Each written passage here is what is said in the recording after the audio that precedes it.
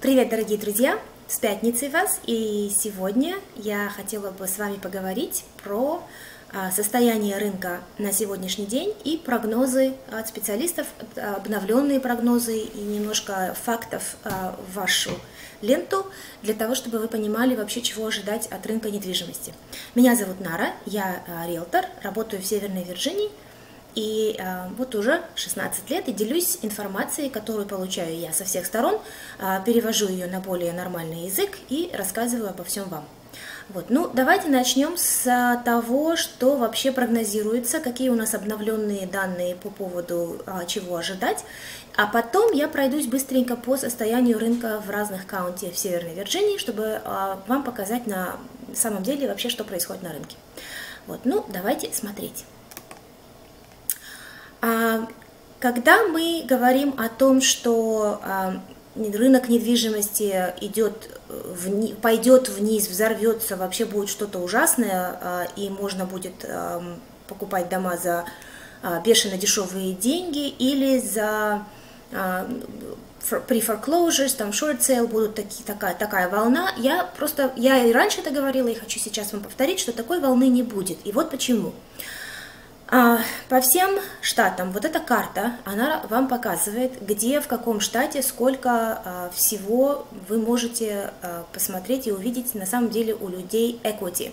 Еще раз напомню вам, что equity – это та часть суммы э, из цены дома, которую, которая принадлежит вам после того, как вы расплатитесь за ваш кредит. Если у вас есть ипотека – Допустим, у вас дом стоит, ну, скажем, 500 тысяч, и скажем, что ипотека у вас составляет сейчас 250 тысяч. Вот оставшиеся 250 тысяч – это ваш equity, а, который вы можете получить при продаже этого дома, вы можете рефинансировать, получить наличные, то есть это ваши деньги. И вот смотрите, сколько на самом деле а, в всей стране денег. Очень много. И при, при этом а, состоянии волны foreclosures не будет просто потому, что ее ну, не, ну, нет такой необходимости. Смотрите, вот при, а, вы, наверное, слышите в новостях, что forbearance, а, люди не платят свои mortgage payments, потому что а, лишаются работы, нет зарплаты. Если вы посмотрите на статистику существующих невыплат ипотек, вы увидите, что 59% из этих невыплат это у людей, у которых их часть в доме, equity, составляет более 30%. У тех людей, у которых э, негативный equity или от 0 до 10% equity, они, их очень мало, их всего 10% из всех существующих невыплат ипотек. Поэтому что это значит? Смотрите, если человек не может заплатить за свой mortgage, то у него вариант э, как бы есть продать этот дом, избавиться от этого, от этой ипотеки, ну и там снимать или что они там будут дальше делать, да, но при этом они могут спокойно продать, заплатить а, все, все издержки по продаже дома, и а, не нужно им делать foreclosure, им не нужно делать short sale. То есть, вот как вы видите, 90% из всех а, невыплат ипотек на данный момент у людей, у которых а, а, как минимум а, больше 10% equity в их доме. То есть хотя бы на выплату издержек по продаже дома у них деньги есть. А, поэтому нет необходимости в foreclosure. А почему сейчас э, такая волна покупателей? Почему мы говорим, что домов мало, на самом деле покупателей очень много, сейчас такой вот как бы дисбаланс а, спроса и потребления, и а, спроса и предложения, потому что процентная ставка настолько низкая, что 67% покупателей хотят купить просто потому, что процентная ставка низкая. Многие хотят сэкономить деньги 32% могут больше сэкономить денег на down payment, и так как они сейчас меньше тратят денег как бы на шопинг и так далее, да, то есть сейчас мы все сидим, мы все сидим и экономим наши деньги. И эм, 28% людей, которые купят в следующем году, они купят потому, что э, ну, мало места. Там, где они снимают, им мало места, они хотят э, взять свой собственное, э, свое собственное жилье, где места есть побольше, то есть растут семьи. А вот этот график вам покажет, эта таблица вам покажет на самом деле, какие процентные ставки были в прошлых годах. Посмотрите, у нас э, в 80-х вообще было почти 13%. по сравнению с тем, что было даже вот в 2010-х, 2000-х годах, помните, когда был такой бум, что прям на, одно, на один дом приходило чуть ли не 50 предложений, да, в 2004-2005 году я это застала, тогда даже процентная ставка была около 6%, а сейчас она около 3%. Поэтому очень много людей сейчас готовы а, покупать а, чем быстрее, чем, а, скажем, снимать в аренду. Ну и смотрите, насколько упал э, уровень дохода, который необходим для получения ипотеки. То есть если в год на, два года назад, даже, да, два года назад необходимо было 18,2% э, дохода, да, вашего дохода, чтобы получить э, ипотеку, то сейчас это 14,6%. За счет того, чтобы, опять-таки, я все время повторяюсь, процентная ставка очень низкая.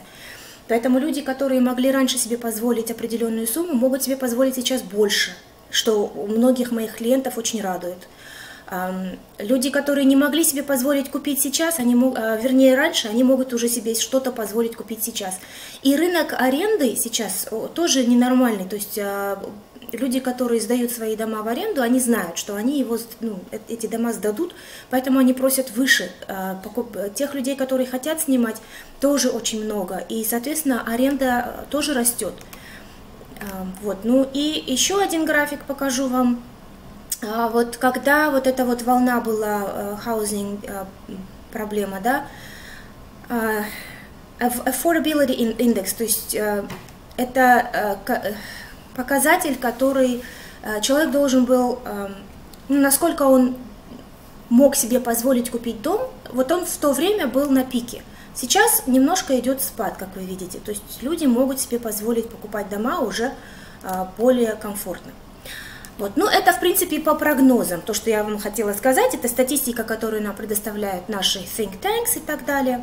Вот, они нам как бы рассказывают, э, что, чего, как. И сейчас я бы тоже хотела с вами немножко пройтись по counties. А, расскажу вообще, вообще что происходит в моей практике сейчас.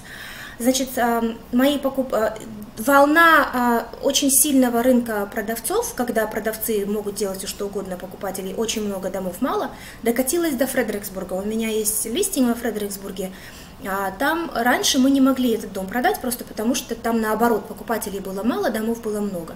Вот, и сейчас, сейчас э, наоборот, домов там меньше стало, все дома распродались, покупатели дошли до Фредериксбурга. То есть вот этот вот сильный-сильный рынок продавцов, он добирается уже дальше и дальше от DC э, самого. И смотрите, что у нас происходит. Значит, вот это вот отчет о рынке за последние 30 дней – а, на 25 июня, э, изменения на 30 дней, вы посмотрите, что начинает немножко идти рост домов на продажу. То есть люди начинают потихоньку успокаиваться и выставлять свои дома на продажу. Но при этом а, цена средняя чуть-чуть пошла вниз, но это Fairfax County, э, по, по всему каунти. А здесь смотрите, что происходит в Арлингтоне. Чуть-чуть больше домов выходят, ну, скажем так, не чуть-чуть, а гораздо, ну так, посерьезнее домов выходит на рынок, но цена практически та же, цена не падает. Это при том, что мы все слышим, что э, люди теряют работу, вообще происходит кошмар, э, рынок недвижимости будет уходить неизвестно куда, вниз. Посмотрите, что делается в Александрии. Цена немножко уходит наверх, домов на рынке становится больше. Это вот за последние 30 дней. И посмотрите на количество дней на рынке. Количество дней на рынке уходит вниз. Вудбридж, э, Принц Уильям, Банасас, Вудбридж, Хеймаркет, вот весь Принц Уильям Каунти, смотрите, домов чуть-чуть становится больше на рынке, цена практически такая же, она не падает сильно, но э, ситуация, в принципе, не такая, ну, как бы, ну, стабильная, что ли, не сказать, что прям вот многие теряют работу, и что-то происходит, и что-то происходит плохое. Абсолютно нет. В Loudoun County – в Loudoun County вообще кошмар происходит. Сейчас э, домов очень мало, покупателей очень много. Эм, я не знаю, что всех тянет в Loudoun County, там или школы такие хорошие, или что там происходит, но он как магнит тянет людей. Посмотрите, цена, средняя цена, она растет и растет и растет. Эм, Причем это стабильно происходит уже много-много месяцев. И я лично это все испытываю со своими покупателями, потому что мы реально подаем на а, дома, мы не получаем наши контракты просто потому, что нас кто-то все время перебивает, либо убирает appraisal contingency, либо просто предлагает гораздо выше цену. Это абсурд какой-то, если честно. И, наконец, Falls Church. Смотрите, интересно, что в Falls Church цены упали серьезно. Не знаю, с чем это связано, но это, но это очень маленькая выборка домов, поэтому так интересно. А, я поставлю эту ссылку под видео, чтобы вы могли поближе к себе посмотреть, что у вас там происходит. А, оговорюсь, что я в Мэриленде не работаю, поэтому эта ссылка для людей в Мэриленде не работает. А, я работаю над своей лицензией в Мэриленде, но еще это, судя по всему, будет очень долгая байда.